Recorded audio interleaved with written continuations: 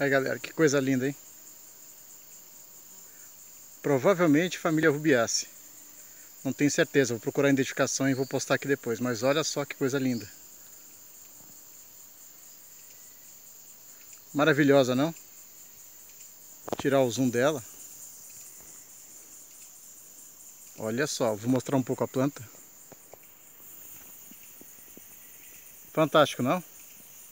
Esse exemplar está aqui na borda de mata. É uma liana de respeito, hein? Então é isso aí, gente. Muito obrigado.